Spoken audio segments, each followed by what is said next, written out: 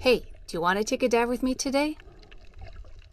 Let's dive. Take a deep breath only if you want to and only if you can.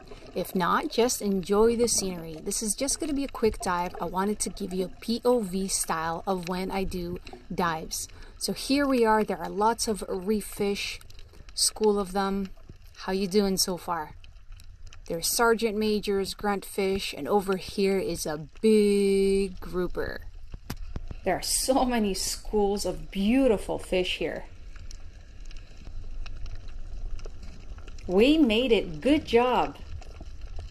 So this is definitely a great travel experience and outdoor adventure.